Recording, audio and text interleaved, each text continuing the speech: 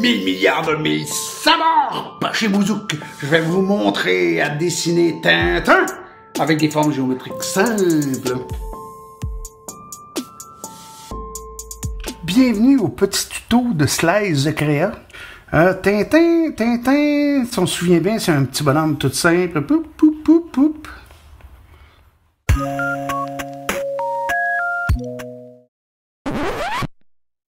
Mais on va le faire mieux que ça. Donc, on se fait un petit croquis qui va servir de base pour faire nos formes géométriques. Voilà notre premier cercle. Donc, on va aplatir un tout petit peu. Si je tire une ligne et que je garde mon pencil enfoncé, ça va me faire une ligne super droite, voyez-vous? Donc, ça va me permettre de faire mes rectangles pour créer des formes géométriques simples. Pour faire son col de chemise, ben, son col de chemise, ben lui, il va passer derrière son cou. Donc, on va faire ça comme ça. On a notre Tintin en forme géométrique. Donc, on a un cercle.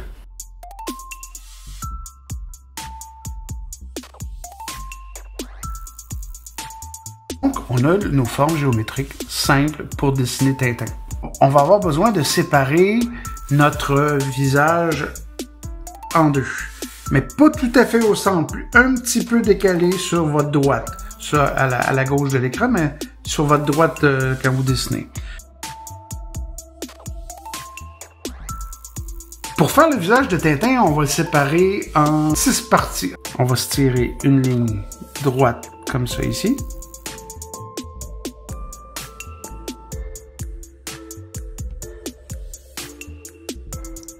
Je m'en viens ici, ça va être comme son menton. Et ici, ça va être son visage. J'ai les sourcils de Tintin qui vont être dans la partie de gauche, dans le triangle du haut un demi-cercle. Et la même chose, ça va rejoindre le front ici. Comme ça. Donc ça, je suis au milieu du B jusqu'au C. Donc ça va faire un truc comme ça. Pour le nez de Tintin. Ses yeux, c'est super facile. On va mettre ici. OK, on va faire la fameuse houppette de Tintin. Donc, on revient au centre comme ça. On fait quatre petites. Voilà. Pour l'oreille, on va tracer notre ligne juste en bas du B jusqu'au D. Voilà. C'est un gros C, hein, donc. Comme ça, un gros C. Pour faire l'oreille, c'est un genre de S inversé. Et pour la bouche maintenant,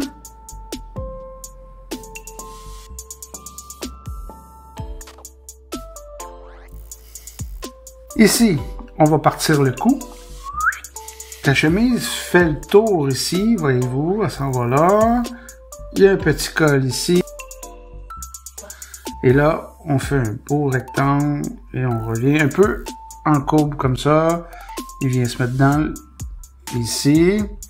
Et j'ai mon autre chemise qui s'en va derrière le cou. Super. Et il vient se, se mettre un peu en triangle comme ça.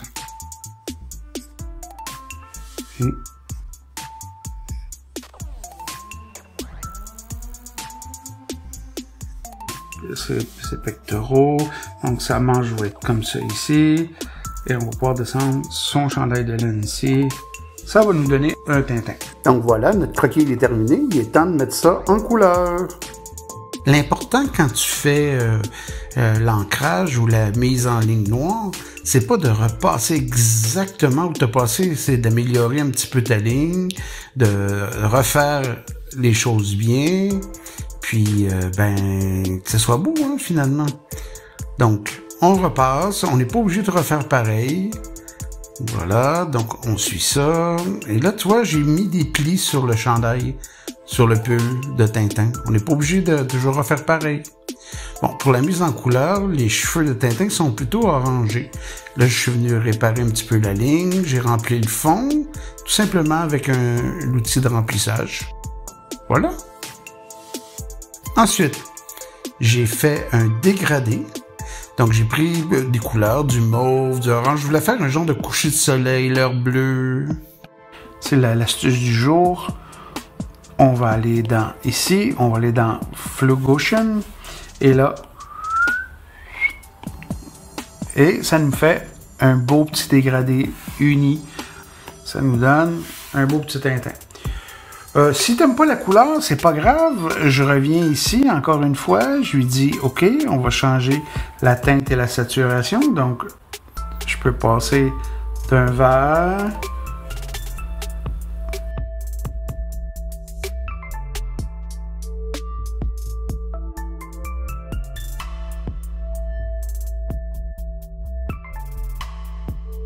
Donc, pour résumer, j'ai besoin d'un cercle, de carré, de triangle. J'ai séparé le visage de Tintin en six parties, vous vous souvenez, où j'ai dessiné en croquis vite vite les parties. Sur les lignes B, les yeux. En haut du A, les sourcils. Entre le B et le D, l'oreille. La bouche sous le C jusqu'au D. Le nez qui vient entre le B, qui vient se glisser. Ensuite, j'ai enlevé tout ça. J'ai gardé mon croquis et j'ai fait mon tracé noir et blanc et mis la couleur. Ensuite, j'ai créé un dégradé de couleur que j'ai changé et voilà. Ta-da-da